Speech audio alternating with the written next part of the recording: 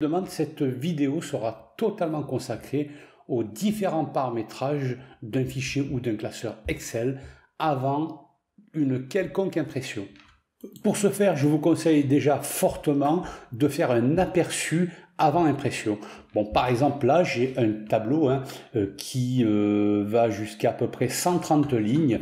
Euh, avant cela, je vais faire une petite impression. Alors, deux façons de le faire. Première façon, vous allez dans Affichage et ici dans le groupe mode d'affichage, cliquez sur mise en page. Et là, je peux voir les différentes pages euh, que j'aurai à mon impression.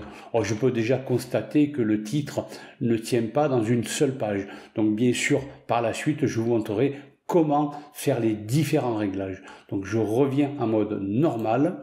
Deuxième façon, c'est d'aller dans Fichier, ici, Imprimer, et sur votre droite, euh, vous avez un aperçu de ce qui peut être imprimé. Donc là, tout en bas, vous avez le nombre de pages, donc je peux éventuellement faire défiler le nombre de pages avec cette petite toupie ou me servir tout simplement de ma souris, de la molette de ma souris. Autre option, bien sûr, si vous souhaitez zoomer votre aperçu, tout en bas à droite, ici vous avez une petite toupie, une petite icône. Il suffit de cliquer dessus afin de zoomer votre aperçu je reclique une fois pour revenir en mode aperçu normal. Je vais revenir euh, sur mon onglet hein, euh, en cliquant sur cette petite flèche. Donc ici, par exemple, je m'aperçois aussi que euh, euh, les euh, données de la colonne J ne rentrent pas dans la colonne. Comment je peux le voir? C'est que j'ai des dièses. Donc en règle générale, lorsque vous avez des dièses, c'est que la largeur de la colonne n'est pas adaptée. Donc deux possibilités. Soit vous mettez entre la colonne J et la colonne K, vous devez avoir deux petites flèches noires opposées et vous tirez. Le souci, c'est que si j'ai une donnée très euh, importante. Je vais mettre par exemple ici euh, un chiffre important.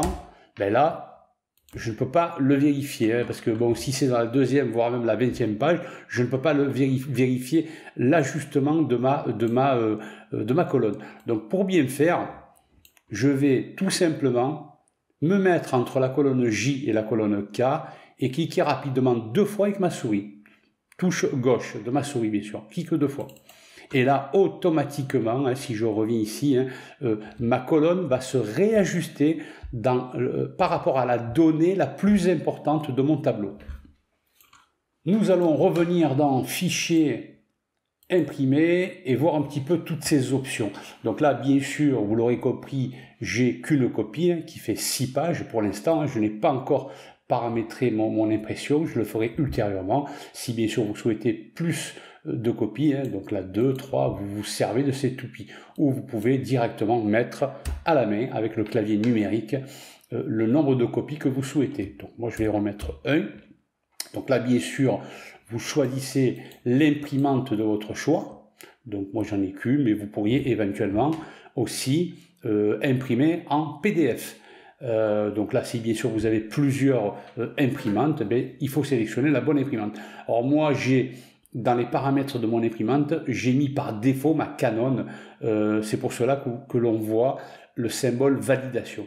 Donc cette imprimante est par défaut. Alors maintenant, nous allons un petit peu euh, nous pencher sur les paramètres. Ici, donc imprimer euh, les feuilles actives, imprimer uniquement la feuille active. Quand je dis feuille, c'est l'onglet. Donc là, si je reviens dans mon classeur. Ici, je suis dans la feuille mode plan, que j'ai nommé mode plan. J'ai d'autres feuilles aussi, sous total et BD somme, BD moyenne. Donc, si je sélectionne fichier imprimer, ici, imprimer les feuilles actives, seule la feuille mode plan, là où je suis, sera imprimée. Si bien sûr, je sélectionne le classeur entier, là, comme je peux le voir, je passe de 6 pages à 11 pages. Donc là, les deux autres euh, euh, feuilles seront imprimées. Alors, penchons-nous à présent sur imprimer la sélection. Donc je reviens dans la feuille. Si par exemple je souhaite imprimer que cette partie, et avec ma touche CTRL, je laisse mon doigt enfoncé et je ne souhaite imprimer aussi que cette partie, je laisse mon doigt enfoncé. Là, si je reviens dans Fichier, Imprimer, et si je sélectionne imprimer pardon, c'est ici imprimer la sélection, seule la partie que j'ai sélectionnée sera imprimée. Donc là, bien sûr, j'ai une partie, j'ai quatre pages. Hein. Euh, là, j'ai pas encore fait les paramétrages nécessaires pour que ça tienne tout sur une page, mais euh, il n'y a que les parties que j'ai présélectionnées qui seront imprimées. Donc je reviens en arrière sur ma feuille aussi.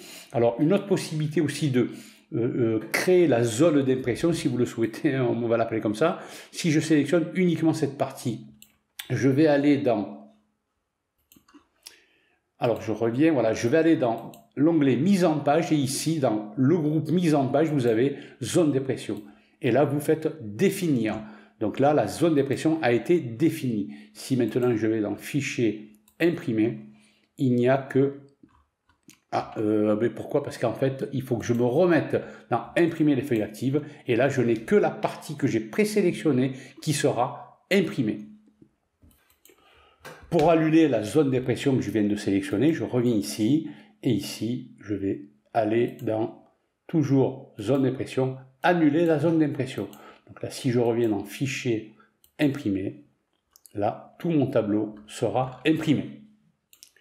Si à présent, toujours dans paramètres, je sélectionne imprimer le tableau, hein, regardez ce qui se passe dans mon aperçu.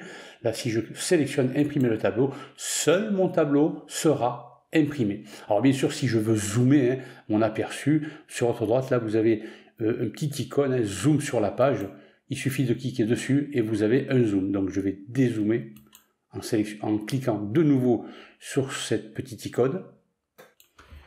Si je souhaite imprimer uniquement la première page, ici, je vais mettre une page à une page.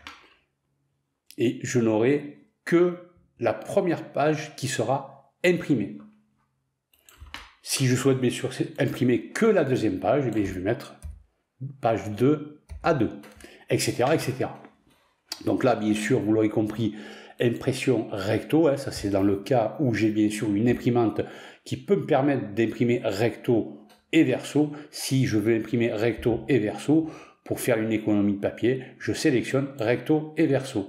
Pour la partie assemblée, je pense que vous l'aurez compris, si je sélectionne 1, 2, 3, là comme j'ai 6 pages, là et en plus j'ai qu'une copie, le problème ne se pose pas, euh, les feuilles euh, s'imprimeront euh, une par une. Si par contre je mets deux copies, et que je sélectionne assemblée 1, 2, 3, eh bien d'abord la première vague du premier document de 1 à 6 pages sera euh, éditée. Par la suite, une deuxième vague sera éditée. Par contre, si je sélectionne 1, 1, 2, 2, etc., euh, la première page sera euh, imprimée à la suite, mais deux fois, etc. Si bien sûr je sélectionne copie 3, elle sera imprimée trois fois. La deuxième page, trois fois aussi, etc., etc. Alors l'orientation là, donc soit vous vous euh, sélectionnez euh, orientation portrait ou orientation paysage. Parfois ça vaut le coup. Il est souhaitable de d'imprimer par exemple un tableau en mode paysage. Pourquoi? Parce qu'il n'y a peut-être pas assez de place. Donc ça c'est à vous de voir. Donc les euh, la feuille, bon en général en France on travaille sur un format A4, 21-29-7. Donc c'est à vous aussi selon votre besoin de sélectionner le bon format. Donc les marques, nous allons le voir d'une autre façon et euh, la mise en échelle aussi. Donc, alors, pour les mises en page actuelles, comment procéder? Soit je clique sur mise en page ici, et vous avez une boîte de dialogue qui apparaît, soit je pourrais aussi l'avoir dans mise en page, et ici vous avez un groupe qui s'appelle mise en page. Donc nous avons déjà vu la zone d'impression, comment définir une zone d'impression avant impression, pour réajuster euh, mon impression, je pourrais aussi jouer sur les marges. Par défaut, là, c'est euh, marge 1,9, etc., etc. Mais je pourrais personnaliser mes marges. Donc ici, marge personnalisée. Donc le côté gauche, je pourrais mettre par exemple 0,3. Euh, le côté droit aussi, qui est ici, 0,3. Le haut, je pourrais aussi le mettre par exemple à 0,9 et le bas aussi, je pourrais le mettre à 0,9. Cela va me permettre de gagner de la place. Je peux aussi, par rapport à, à l'aperçu que nous avons, centrer horizontalement et verticalement. Donc là, mon tableau sera au milieu. Je pourrais éventuellement aussi faire un aperçu de mon travail. Et j'ai un aperçu. Je reviens dans ma feuille de travail. Donc nous avons vu les marges personnalisées. donc la orientation aussi, je peux l'avoir ici, portrait ou paysage, selon votre euh, choix. Donc je, je, vais revenir sur marge personnalisée. Pourquoi? Parce que nous avons d'autres onglets pour ajuster la taille de mon tableau. Donc ici, je pourrais éventuellement cliquer sur l'onglet page. Alors soit ici, vous faites ajuster automatiquement et vous voyez ce que cela donne. Donc là, par exemple, je vais faire un aperçu. Et là, comme on peut le voir, c'est un peu limite. Comme euh, voilà, ça s'est ajusté sur une page, mais c'est pas ce que je recherchais. Donc je vais revenir en arrière, revenir sur marge, marge personnalisée. Et là, au lieu de faire ajuster, je pourrais ici éventuellement, là, ça réduit de 40, ça fait beaucoup. Si je mets maintenant je sais pas moi par exemple 80, je fais un aperçu et je vois ce que cela donne. Donc là, de 6 pages, je suis arrivé à 4 pages. alors là, apparemment, ça déborde. Donc je reviens en arrière. Et je pourrais, pour que ce soit lisible, par exemple, aller dans Orientation et choisir Paysage. Je vais voir ce que cela donne. Fichier, imprimer. Et là, ça tient sur 3 pages. 1, 2, 3. Alors, comme vous pouvez le voir, euh, ça je vais bien sûr vous donner l'astuce, ici j'ai bien sûr euh, un... Euh, alors là par contre, imprimer le tableau, je vais sélectionner plutôt imprimer les feuilles actives afin de voir aussi mon, titre. Donc là, j'ai des titres ville, sexe, nom, etc. Le souci c'est que sur la deuxième page, et encore moins sur la troisième, mes titres n'apparaissent pas. Alors, je vais bien sûr automatiser la répétition des titres autant de fois qu'il y a de pages. Alors pour ce faire, je vais aller de nouveau dans ma feuille. Ici, je vais aller dans mise en page, toujours dans marge, marge personnalisée. Et là, je vais aller directement dans l'onglet feuille. Et là, je constate que qu'il y a une option ligne à répéter en haut. Donc je vais me mettre, me positionner ici et sélectionner la ligne où il y a le titre. Donc, la ligne 6. Donc, si je fais à présent un aperçu, je peux vérifier que, en passant de la page 1 à la page 3, les titres se répètent. Nous allons voir bien sûr d'autres options. Donc, je reviens sur ma feuille et je vais revenir ici, mise en page, marche personnalisée.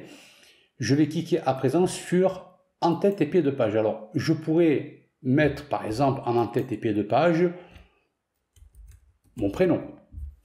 Euh, euh, partie gauche, je pourrais mettre euh, autre chose sur la partie droite, sur la, la, partie centrale. La partie droite, je pourrais mettre éventuellement un numéro. Par exemple, ici, le numéro de page, insérer le numéro de page, je vais mettre un slash sur le nombre de pages qu'il y a. Par exemple, là, dans mon document, je sais qu'il y a trois pages je vais faire OK. Et ici, par exemple, en pied de page, je pourrais éventuellement sur la partie gauche rajouter euh, le nom du fichier ou le nom du classeur, insérer classeur et fichier. Et je vais faire OK. Donc je vais faire un aperçu. Et là, je peux constater que, alors je vais mettre en zoom, hein. ici, je peux constater que j'ai mon prénom, et ici, j'ai euh, le nom de, comment dirais-je, euh, du classeur ainsi que le nom du fichier. Si bien sûr je dézoome, parce qu'en effet, sur ma droite tout en haut, j'ai mis le euh, numéro de page sur le nombre de pages du document. Donc là, si je fais défiler mon classeur, 2 sur 3 pages, 3 sur 3 pages, etc. etc. Je reviens sur ma feuille en cliquant sur cette petite flèche. Alors là, bien sûr, par défaut, Excel vous met des quadrillages, mais si vous souhaitez les retirer, il n'y a pas de problème. Il faut aller dans Affichage et ici, vous décochez quadrillage. À partir de là, le quadrillage d'Excel euh, sera supprimé. En visuel en tout cas. En tout cas, en impression, ça ne sera pas imprimé. Si à présent vous souhaitez rajouter un arrière-plan, il suffit d'aller dans, toujours dans euh, l'onglet Mise en page, ici Arrière-plan. Par exemple, moi je vais choisir euh, dans Bing bureau. Ouais, pourquoi pas un bureau. Donc vous choisissez le bureau de, votre choix. Hein. Voilà, par exemple, je prends celui-ci, moi, je fais insérer. Et là, vous avez le bureau, bien sûr. Hein. il faut que ce soit en adéquation avec votre tableau. Parce que là, on ne voit pas grand-chose. Euh, je... Alors, je fais CTRL Z pour annuler ma manipulation. Voilà qui est fait. Et si bien sûr euh, vous êtes satisfait de votre mise en page, donc fichier imprimé, et vous pouvez voir votre aperçu, hein, donc si euh, c'est satisfaisant pour vous, il suffit de cliquer sur imprimer. Alors bien sûr, vous pouvez aussi euh, l'enregistrer, hein, enregistrer sous. Donc là, vous choisissez bien sûr la directory ou l'emplacement, par exemple sur le bureau. Vous pouvez aussi choisir de l'imprimer en PDF, donc qui est ici, PDF donner un, nom, bien sûr, à votre, à votre dossier. Euh, en PDF, j'ai une autre possibilité. Euh, il suffit d'aller dans Exporter, ici, Créer un PDF. Alors là, bien sûr, si vous souhaitez euh, imprimer, enfin, enregistrer en PDF tout votre classeur, il suffit d'aller dans Options et ici, sélectionner classeur entier et cliquer sur OK et là, cliquez sur publier. Voilà, j'espère que cette euh, petite formation vous aura plu et elle vous aidera dans vos mises en page sur des feuilles ou des classeurs Excel. Quant à moi, je vous donne rendez-vous dans un prochain tutoriel. N'hésitez pas à vous abonner et à cliquer sur la petite cloche afin de recevoir les dernières notifications. Merci, à bientôt et au revoir.